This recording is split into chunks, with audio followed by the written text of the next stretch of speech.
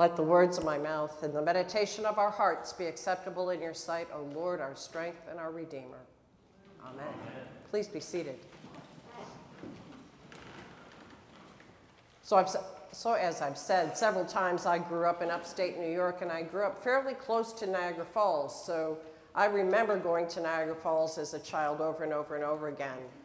And it's incomprehensible the, how huge it is, how vast, how much water 45 million gallons of water a minute. 45 million gallons of water a minute flowing over the falls. And you can take a walk behind the falls, into the caves behind the falls, and you see the water, and the water is a blue green. It's not dirty, it's not brown, it is blue green all the time. And this time of year, when it's been really, really cold for a really, really, really long time, and when you stand at the falls, you see icebergs, chunks of ice the size of cars going over the falls just rapidly. Incredible, just unbelievable. And it was in the late 1800s that Tesla and uh, Westinghouse got together and said, let's put a hydroelectric power plant there. And they did, and now there's five hydroelectric power plants on both sides of the falls. Excuse me. Converting that power of that water into electricity. And to me, that's just incredible. And as a kid, we took uh, tours through the power plant, and you could see the water rushing through and the turbines. And the, but to me, it was also kind of magic, still is a little bit of how you can make water become electricity and light lights hundreds of miles away. I don't know. But I also think about it because we live where we live, okay, in California, we've had a lot of rain. It changes our perspective a little bit. But the scripture was written in the Middle East, where it's mostly desert. And there isn't this abundance of rushing water. And many of our Bible stories, many, many of our Bible stories happen around water. I think about the parting of the Red Sea, where the people who had been enslaved in Egypt gained freedom through the Red Sea. God had the power to part the Red Sea save God's people. And over and over and over again, God's people are saved by the power of the water.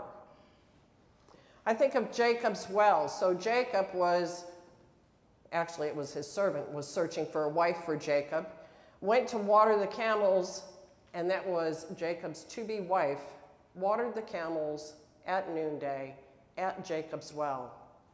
And to this very day, Jacob's Well is now in an Orthodox church in Palestine.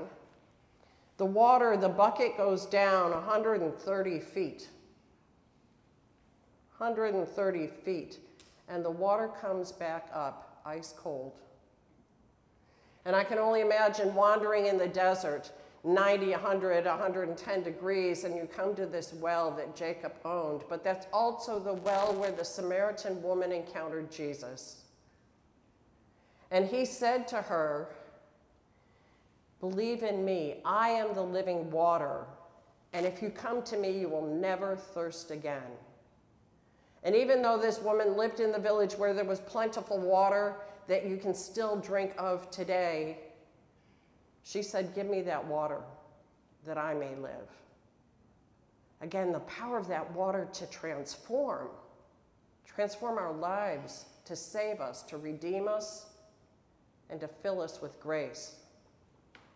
So today we start the season of Epiphany and we come to the story of baptism, and we've heard the story of baptism of Jesus, I don't know, a hundred times? Many, many, many, many, many times, and it's a short story. So if you're, you know, like if you're not completely paying attention, it just flies by.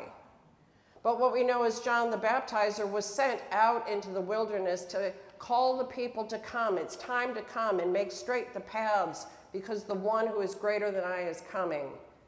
And he's calling people to be baptized for repentance. And that would have been something the Jewish people did and some Jewish people still do. It's not called baptism, but it is cleansing cleansing of sin, cleansing for health, cleansing to be whole and holy. But when Jesus came along, John the Baptist said, mm, You should be baptizing me. John recognized him and said, You should be baptizing me. And Jesus said, No, it's right and proper that you baptize me. And then we hear the miraculous the skies parted, the Holy Spirit came down in the form of a dove, and we heard the voice of the Lord This is my Son, the beloved. With him I am well pleased. And for the first time for the people of Israel, they heard the voice of God. For the first time, heaven and earth met together. Human and divine mingled together and became one.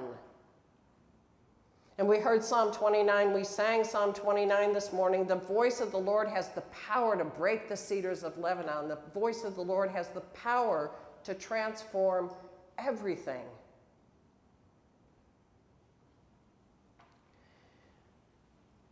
We engage in the sacrament of baptism, and we have a gorgeous font that is a miniature falls, waterfalls.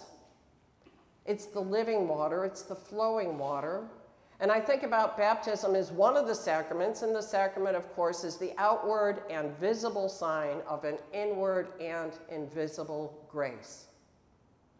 When we engage in the sacrament of communion every week, we are receiving an inward and invisible grace the same inward and invisible grace that we received in baptism. But when I see the water of baptism, I think of Niagara Falls. I think of the power of those falls. And I think of that as exactly like God's grace. That immense amount of grace and love constantly being poured out over us, constantly, never ending. Grace and love being poured upon us and we receive it inwardly. Now, I know when I baptize someone, whether it's an infant or an adult, it always chokes me up to think that we're welcoming somebody else into the household of God, that they will be receiving the Spirit, that they will be transformed by this grace, that they will receive the power of the divine. And when I look at the faces of the family and friends who gather, it also brings me to tears the joy on their faces. But then when I turn and face the congregation, or you're facing me, and we welcome this infant or adult into the household of God, the joy, the smiles that I see on your faces And we're invited into that moment again where we hear, we experience, we know the voice of God saying, You are my child, my beloved. With you I am well pleased. Where we know once again the power, the immense power of baptism to transform us, to fill us with grace, so that we may go out and transform the world. In this season of Epiphany, we are going to proclaim the baptismal covenant every week as a reminder. So we can get in touch and stay in touch with how God and man came together on earth. How we too have received that grace. We have that spark of divinity within us that is called to show that grace and that love out into the world. And so I invite you, as we say the baptismal covenant every week, to think about the power of water to transform, the power of the Spirit to transform, the power of God's love and grace to transform not only you, but for you then to transform the world. Amen.